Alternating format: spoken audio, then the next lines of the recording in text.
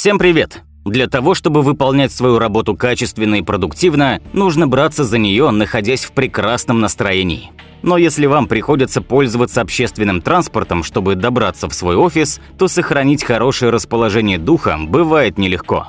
Сегодня я покажу вам, как в некоторых странах людям приходится добираться на работу. И вы поймете, что кому-то живется гораздо хуже, чем вам. Но сперва не забудьте подписаться на канал и нажать на колокольчик, чтобы ничего не пропустить.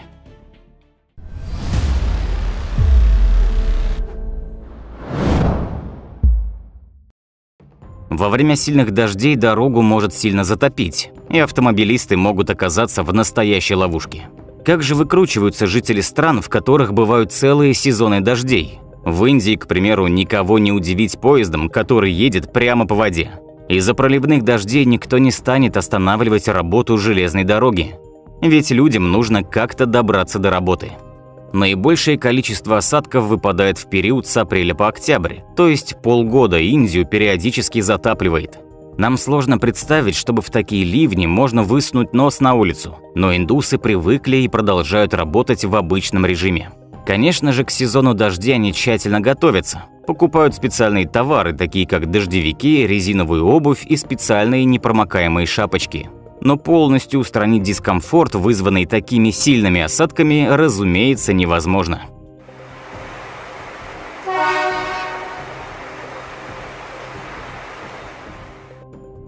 Между Индией и островом Шри-Ланкой под водой находится странная гряда протяженностью в 48 километров.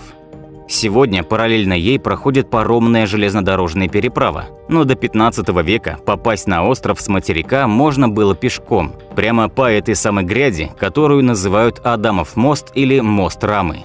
Ученые до сих пор спорят о том, как был образован этот мост. Его построили люди или создала природа. Большинство сошлось во мнении, что все же этот мост рукотворный. Конечно же, сегодня по нему никто не ходит, чтобы добраться до острова или обратно на материк, люди едут на паромной железной дороге. Но местные жители утверждают, что по Адамову мосту и по сей день можно пройти пешком, периодически погружаясь по пояс в воду.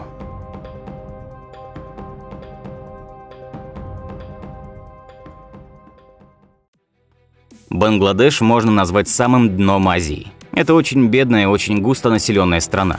Если вы когда-нибудь жаловались на толкучку в общественном транспорте, то, думаю, после того, как увидите, как на работу добираются люди в Бангладеш, почувствуете себя просто нытиком. Большинство людей живет в деревнях, а работают в городе. В период праздников все отправляются домой к своим семьям, а затем возвращаются обратно. В этот период поезда не то что перегружены, они практически полностью покрыты людьми.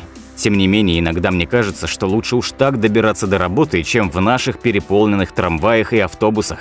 Вы только посмотрите на этих людей. Они все приветливые, помогают друг другу забраться на крышу, радуются и веселятся. Никакого хамства, никакого толкания локтями.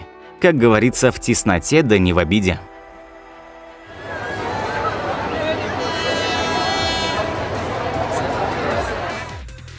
Горные дороги являются особенно опасными.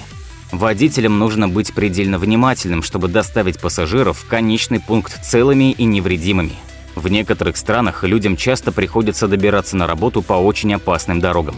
При этом автобусы часто ходят перегруженными, и люди ездят даже на крыше. Этим парням не нужно платить деньги за экстремальные развлечения. Они ежедневно могут насладиться опасным аттракционом под названием «добраться на работу и уцелеть». А вот так выглядит дорога в Гималаях. Представьте, насколько опытным водителем нужно быть, чтобы проехать в этих местах. Правда, на работу по этой дороге ездит только сам водитель, так как все его пассажиры – это просто туристы, которые хотят полюбоваться красотами гор. So we've now got to a stage where the, the, the roof rack's going to get stuck Тайско-бирманскую железную дорогу называют «дорогой смерти». До 20-го столетия казалось, что проложить дорогу через холмистые джунгли с большим количеством рек – задача непосильная. Так было до тех пор, пока эти земли входили в состав Великобритании. Но когда в 1942 на эти земли вторглись японцы, они нашли способ построить железную дорогу. Дорогу строили каторжники, многих из которых похоронили вдоль этой дороги. Условия работы были настолько ужасными, что мало кто мог это выдержать. Именно поэтому железная дорога и получила свое зловещее название.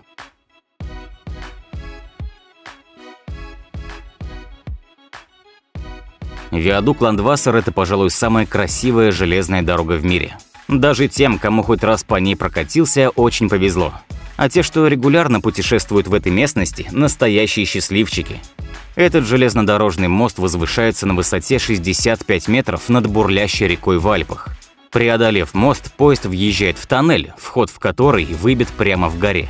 В часе ходьбы от небольшой деревушки Филизур расположена смотровая площадка, с которой открывается великолепный вид на эту железную дорогу.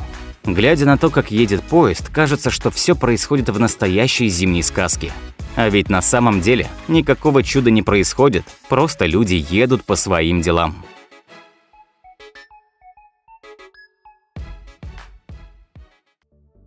Самая опасная железная дорога в мире проходит через гору Нос Дьявола в Эквадоре. Частая сейсмическая активность, проливные ливни – казалось, все это делает строительство дороги невозможным. Однако еще в конце XIX века президент Эквадора заявил о своем амбициозном плане – построить самую сложную железную дорогу в мире. План удалось осуществить, дорогу построили, но ездить по ней очень опасно и по сей день. В этой местности обитают ягуары, множество ядовитых змей и насекомых. Несмотря на это, до недавнего времени люди ездили даже сверху вагонов поезда, но сегодня это уже запретили.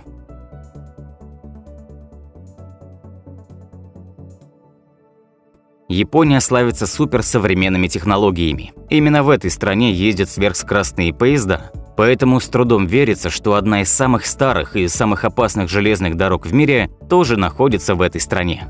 Старый разваливающийся поезд из трех вагончиков сначала идет над пропастью, а затем проходит по южному склону горы Асо, которая по сути является действующим вулканом, который может начать извергаться в любой момент.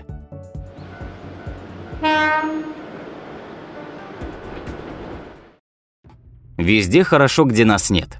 Нам часто кажется, что именно у нас самые ужасные железные дороги в мире, самые кошмарные поезда и самые неприветливые проводники.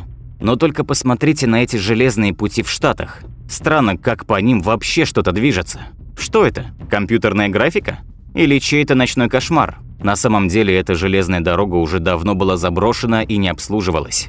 Казалось, никому и в голову не придет провести по ней состав. Но чего в наше время не сделают люди ради просмотра в Ютубе? Один безумец все же решился пустить поезд и снял видео с такого ракурса, что сложно поверить в то, что все это происходит в реальности.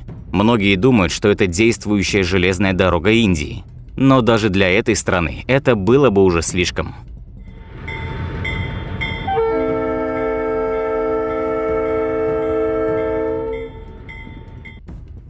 А в Камбодже люди добираются на работу по бамбуковой железной дороге.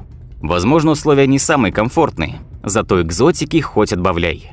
Бамбуковый поезд представляет собой небольшую площадку из бамбука, на которой могут разместиться до 20 человек. Сзади прикреплен двигатель. Несмотря на незатейливую конструкцию, поезд способен разгоняться до 40 км в час.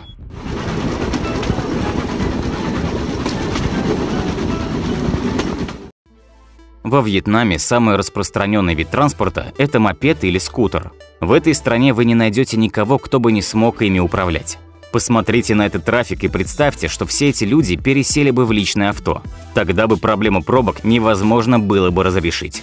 Скутер для вьетнамцев – это больше, чем просто транспорт. Без него они как без рук. Скутер или мопед помогает решить любую, даже абсолютно неразрешимую на первый взгляд задачу. Чего только на них не перевозят. А приезжим здесь сразу же предложат взять скутер в аренду. Если вы не умеете им управлять, то вам будет очень тяжело в этой стране.